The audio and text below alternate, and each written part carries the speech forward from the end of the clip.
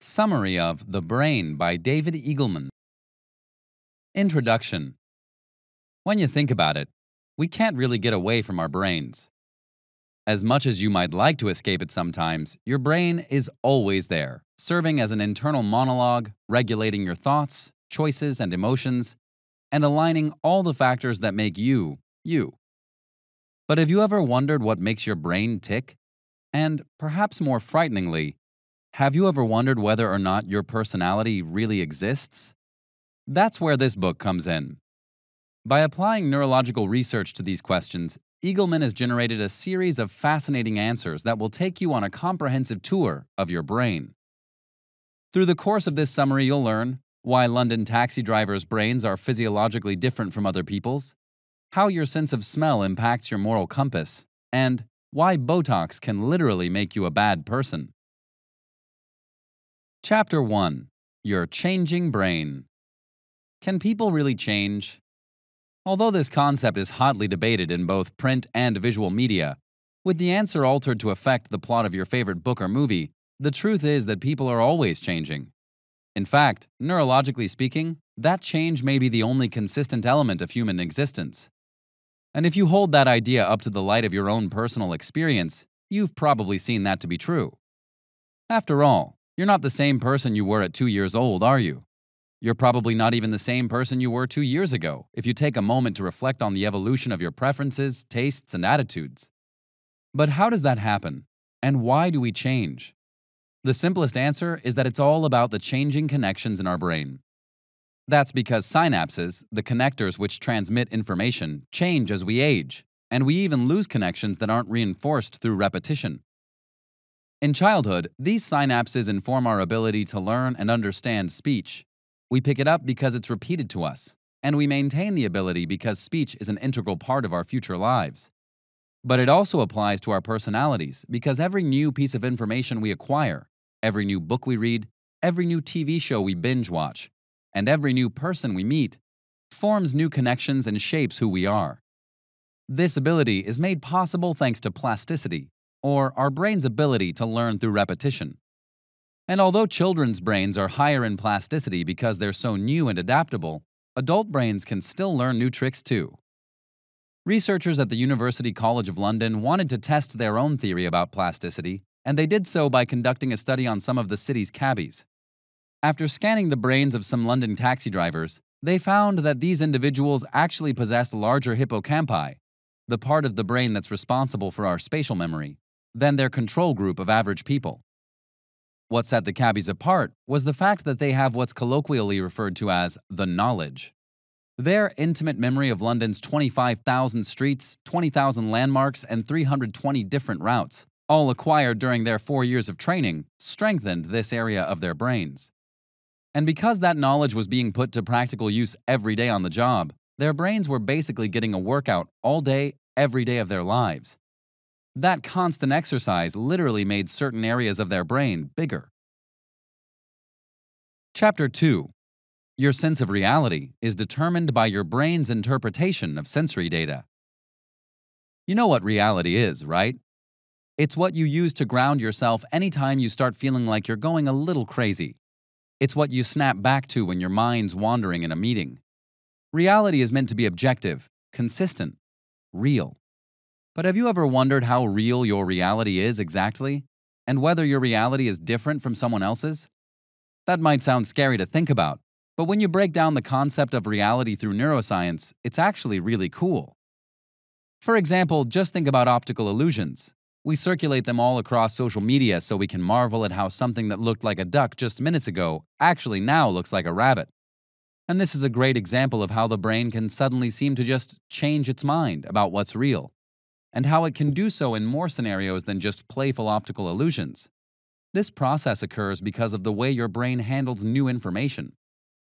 Because your understanding of reality isn't informed by logic alone, in fact, it's a construct that's modeled by your sensory organs which control your perception of sight, taste, and smell.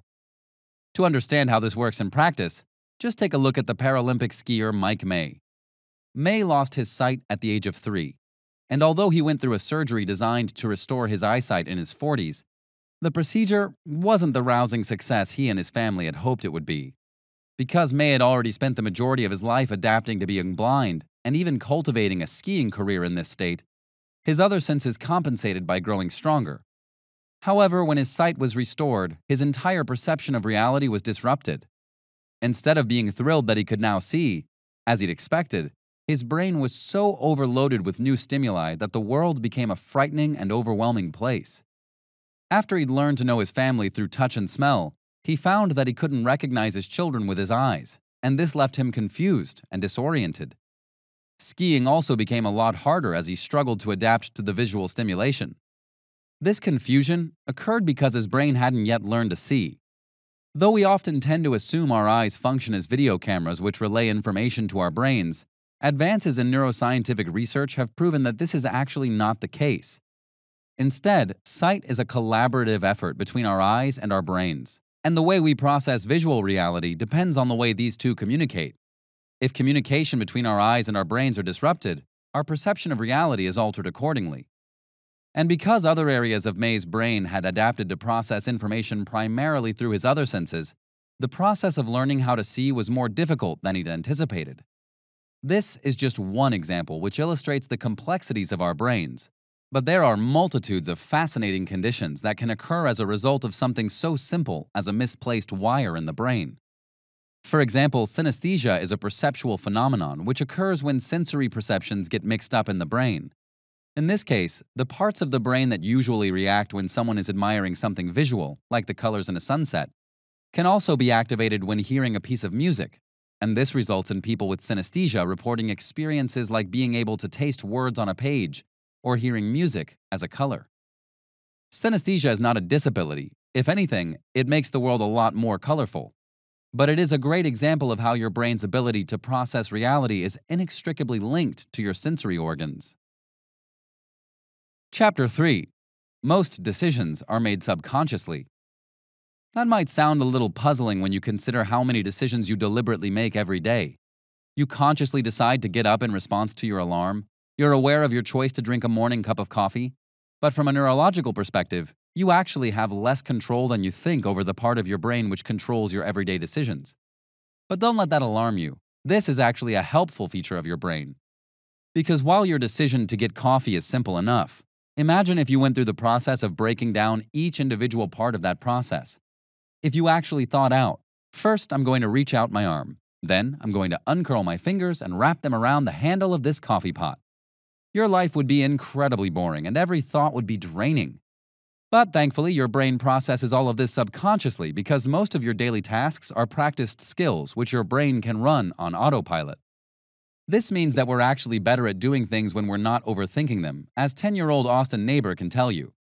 That's because Austin is a champion sports stacker. He's an expert at competing with others to stack cups and different shapes, and he was willing to give the author a run for his money in a fun competition where they were both hooked up to an EEG machine that measures the brain's activity. The test results showed that although Eagleman was expending a significant amount of brain energy to perform this unfamiliar task, Austin's brain was perfectly at rest as he raced through the tasks with ease. Because he'd performed this routine so many times, he no longer needed to engage his conscious brain to do so, meaning that he could still compete effectively while on autopilot. You might be inclined to interpret the lack of conscious engagement as laziness, but in fact, studies show that once we reach a certain level of proficiency with a task, we're more likely to make mistakes when our conscious brain is engaged. A study conducted on baseball players, for example, found that they hit the ball without making an intentional choice to do so, and that this actually works in their favor because the human brain is not fast enough to accurately determine the speed of the ball and the correct moment at which to swing the bat. Your conscious brain is also working for you when you're not playing competitive sports, as evolutionary psychologist Geoffrey Miller discovered. While conducting a study to determine how much money female strip dancers earned at different stages of their menstrual cycles, Miller learned that dancers who were ovulating earned twice as much in tips. He theorized that this was because men picked up on subtle changes in their appearances that were caused by higher estrogen levels and responded accordingly. That might sound like a weird coincidence, but other studies actually report similar results.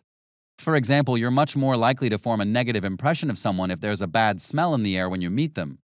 You're also more likely to describe your relationships with others warmly if you're holding a warm drink in your hand at the time. This all goes to show that our brains are highly sensitive to the type of subconscious activity known as priming.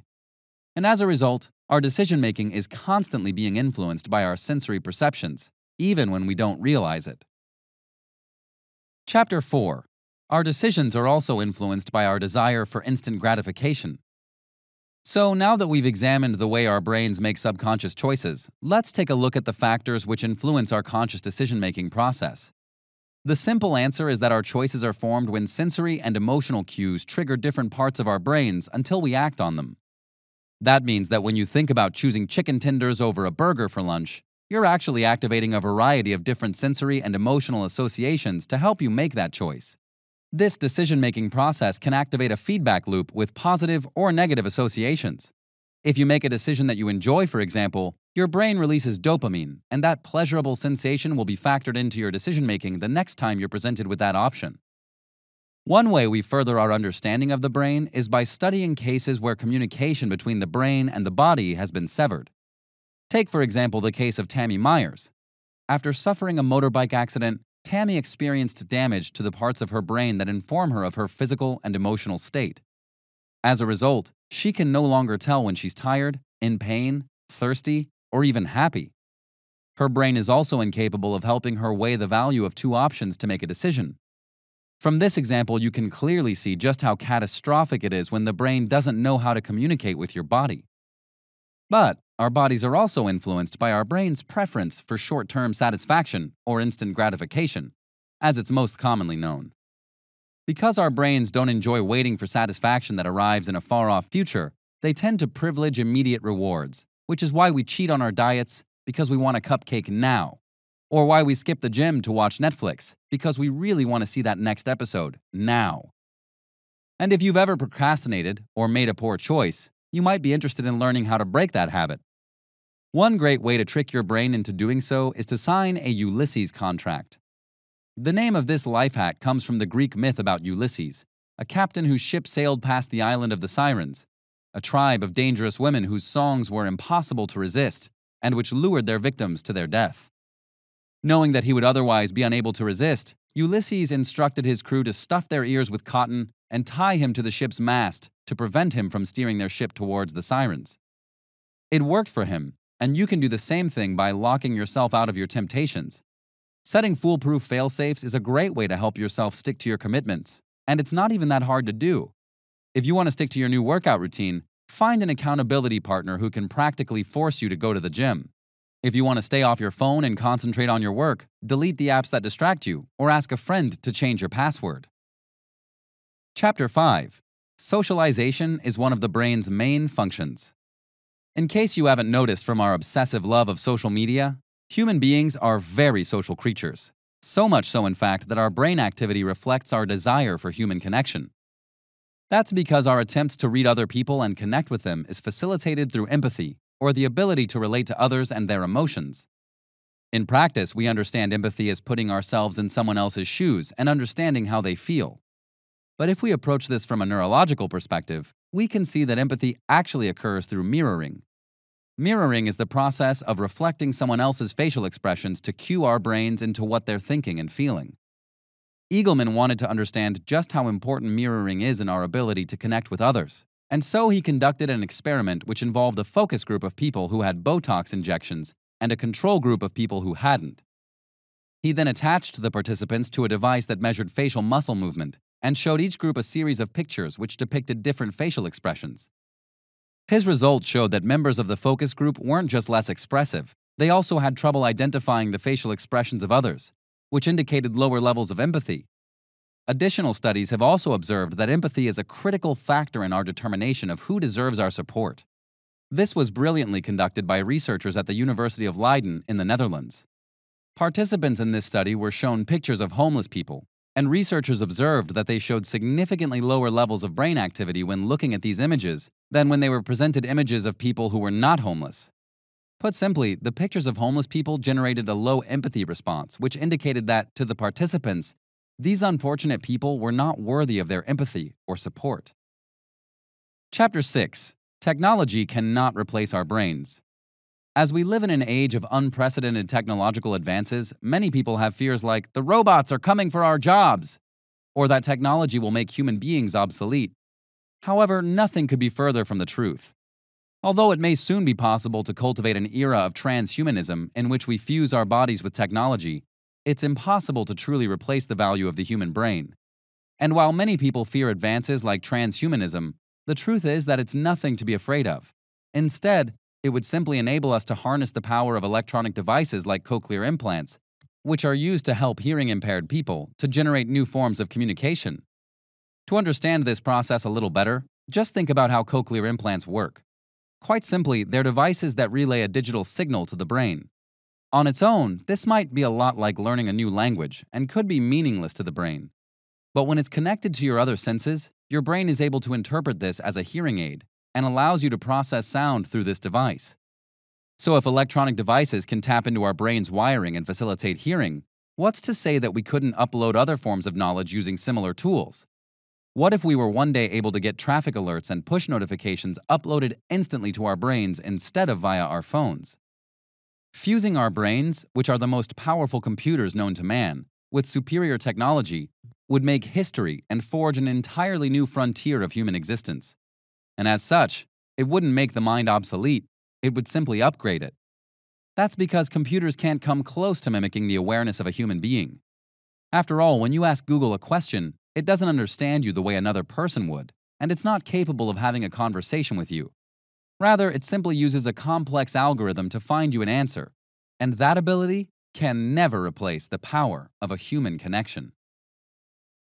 Final summary Our brains inform everything we understand about the world, but we often don't understand much about our brains. Understanding a little more about concepts like plasticity, empathy, and sensory process can help us get to know our brains and appreciate the intricate and complex processes that guide our daily lives.